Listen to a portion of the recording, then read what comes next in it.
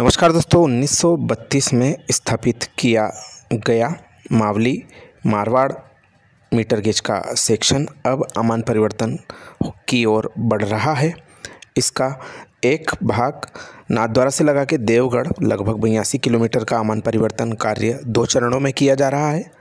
वहीं जो मारवाड़ से लगा के देवगढ़ का सेक्शन है, वह वन विभाग के अंतर्गत आने की वजह से अभी उसका मीटर गेज के रूप में हेरिटेज लाइन के रूप में यथावत रखे जाने का निर्णय लिया गया है। स्क्रीन पर आप देख रहे हैं, पहले चरण लावा सरदारगढ़ से नाथ द्वारा के बीच के अमन परिवर्तन की स्थिति। यह अपडेट सीताराम बंजारा जी के सौजन्य से प्राप्त हुई है। हम आप सभी की ओर से उनका आभार व्यक्त करते हैं। यहाँ पर आप देखेंगे, लावा सरदारगढ़ स्टेशन पर जो स्टाफ क्वार्टरों का निर्माण है, सहित स्टेशन बिल्डिंग का निर्माण प्लेटफार्म का निर्माण, द्रुत गति से चल रहा है। और उम्मीद जताई जा रही है, वर्षा काल के पूर्व काफ़ी अच्छा काम यहाँ पर हो जाएगा। छत डालने की तैयारी यहाँ पर जो स्टाफ क्वार्टर आदि बनाए गए हैं, उनमें चल रही है। वहीं जो स्टेशन बिल्डिंग स्ट्रक्चर है, उस पर अभी नींव का कार्य हो चुका है और आगे बड़े निर्माण कार्य सिविल के, उसमें अगले दो तीन महीने में हमें दिखाई देंगे। वहीं प्लेटफार्म का निर्माण किया जा रहा है और पहली नज़र में यहाँ पर लग रहा है कि ओवरब्रिज की जगह पर अंडर ब्रिज के माध्यम से यात्री स्टेशन से बाहर से प्लेटफार्मों पर आ जा सकेंगे। इसी के बाबत यहाँ पर तैयारियाँ प्रारंभिक तौर पर नज़र आ रही हैं। काफ़ी महत्वपूर्ण यह पहला सेक्शन है जिसका कार्य किया जा रहा है। बयासी किलोमीटर इसकी लंबाई है। यहाँ पर पुराने स्टाफ क्वार्टर जो बने हुए हैं, दूसरी तरफ़ हैं और नई जगह पर नए स्टाफ क्वार्टर, स्टेशन बिल्डिंग आदि का निर्माण कार्य किया जा रहा है। सिंगल लाइन यहाँ पर ट्रैक वर्तमान में मीटर गेज का मौजूद है जिस पे केवल एक रेलगाड़ी का संचालन होता है। दोनों तरफ़ से वह आवागमन करती है और उम्मीद जताई जा रही है, इस महीने यह गाड़ी चलना बंद कर सकती है, क्योंकि जो कार्य है उसको बढ़ाने की आवश्यकता महसूस की जा रही है। पहले चरण का कार्य एम एच के बिल्डकॉन के द्वारा किया जा रहा है? लावा सरदारगढ़ से नाथ द्वारा के सेक्शन का, वहीं दूसरे चरण का कार्य रचना इंफ्रा टेक के द्वारा किया जा रहा है। दोनों ही चरणों में कार्य काफ़ी अच्छा चल रहा है। दूसरा चरण का जो कार्य है, हमारा लावा सरदारगढ़ से देवगढ़ का, वह काफ़ी देरी से शुरू हुआ, परंतु उसकी भी प्रगति उल्लेखनीय कही जा सकती है। ये आप देख रहे हैं, अर्थवर्क से संबंधित कार्य यहाँ पर चल रहा है। अभी अर्थवर्क को और ऊँचा किया जाएगा क्योंकि जो हाइट है प्लेटफार्मों की, वह काफ़ी ऊँची जाएगी और उसके पश्चात में उस पर ट्रैक बिछाया जाएगा। साथ ही यहाँ पर जो ऊँची दीवार का भी कार्य, यही स्ट्रक्चर जो बनाया गया, यह करने वाली है। और आप आगे देखेंगे कि अंडर ब्रिज यहाँ पर जो बनाए जा रहे हैं, एक तो हमारा रेलवे गेट के पूर्व बनाया जा रहा है आवागमन के उद्देश्य से। वहीं जो हमारा प्लेटफार्म है, इसके पास में बनाया जा रहा है, वह यात्रियों के आवागमन के हिसाब से बनाया जा रहा है। फ़िलहाल में यहाँ पर ओवरब्रिज नहीं बनाए जाएँगे, जैसा कि पहली नज़र में यहाँ पर दिख रहा है। भविष्य में यदि यात्री बेस बढ़ता है तो उस स्थिति में ओवरब्रिज बनाए जाएँगे, क्योंकि सिंगल लाइन सेक्शन यह है और उसी के हिसाब से यहाँ पर कार्य चल रहे हैं। दो प्लेटफार्म प्रारंभिक तौर पर इस स्टेशन पर बनाए जाएँगे। वहीं जो अन्य दूसरे स्टेशन हैं, किसी पर मालगाड़ियों से संबंधित कार्य यदि होना है तो वहाँ पर तीन प्लेटफार्म बनाए जाएँगे। हमारा देवगढ़ जो स्टेशन है, वहाँ पर मीटर गेज का भी प्लेटफार्म भविष्य की दृष्टि से बनाया जाएगा, क्योंकि जो मीटर गेज का अलाइनमेंट है, वह देवगढ़ स्टेशन तक यथावत रखा जा रहा है। हो सकता है आने वाले समय में देवगढ़ से मारवाड़ के बीच में जो हेरिटेज गाड़ी है, उसका संचालन किया जाता रहे। वहीं हमारे कुछ दर्शकों का सवाल था कि जो आगे की स्थिति है, रेलवे लाइन की देवगढ़ से बार में कनेक्ट होगी अथवा देवगढ़ से हरिपुर में कनेक्ट होगी तो उन सभी के लिए एक अपडेट आया है। अजमेर मंडल के द्वारा जो हाल ही में अपनी नक्शा अपडेट डाला गया है वेबसाइट पर, उसमें साफ़ तौर पर नज़र आ रहा है कि देवगढ़ से बार के बीच में इनके द्वारा लाइन बनाई जा सकती है। यह प्रपोज्ड न्यू लाइन की फेहरिस्त में शामिल हो सकती है। जैसा कि हम कहते आ रहे हैं, पूर्व में भी जो जानकारी इनके द्वारा पोर्टल पर डली हुई है, उसमें देवगढ़ से बार लाइन का ही उल्लेख किया गया है।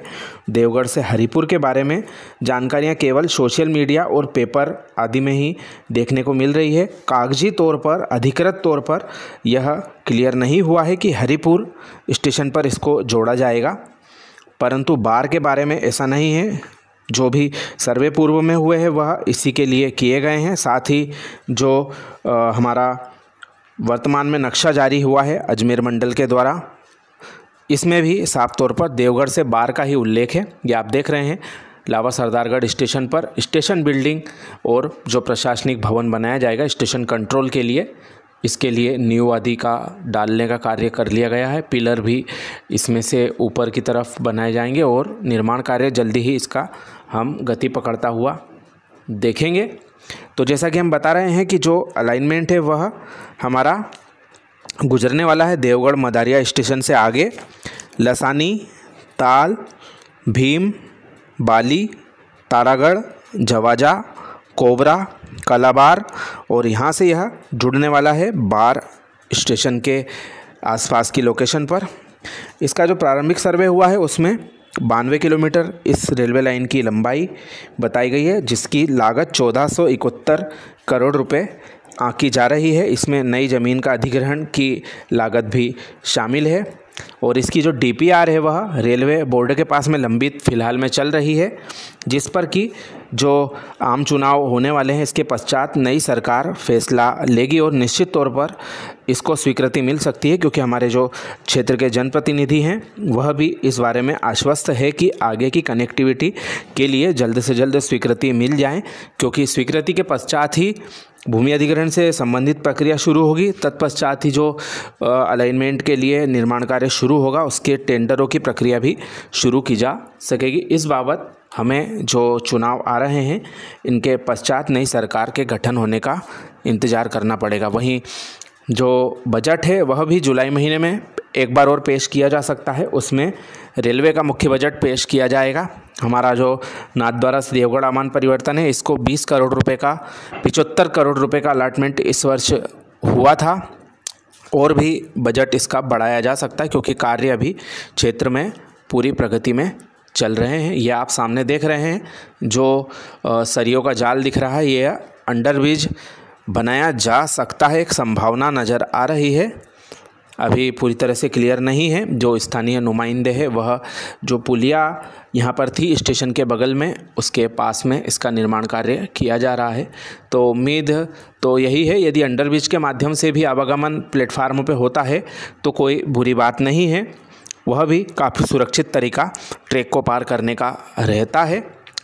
और जैसा कि हमने आपको बताया कि देवगढ़ से आगे के सेक्शन के लिए जो पूरी कहानी है, वह हमारे जून जुलाई महीने में क्लियर हो सकती है। अब जो हमारे दोनों सेक्शन है, दोनों में काम अच्छा चल रहा है। हमने कुछ दिन पहले कुआनथल स्टेशन की भी अपडेट आपको दिखाई थी। का जो सेक्शन है, आमेट स्टेशन के आगे का इलाका है। वहीं जो ट्रेन बंद करना है, देवगढ़ से लगा के नाथद्वारा के बीच में मीटर गेज की एकमात्र गाड़ी जो चल रही इसको 27 अप्रैल से बंद किया जा सकता है। इस बाबत जो आदेश है, वह सोशल मीडिया पर सर्कुलेट हो रहा है, यानी कि आखिरी गाड़ी 27 अप्रैल को इस सेक्शन पर चलेगी। मारवाड़ से आखिरी गाड़ी 26 अप्रैल को और मावली से आखिरी गाड़ी 27 अप्रैल को चलाई जाएगी। यह कन्फर्म हो चुका है।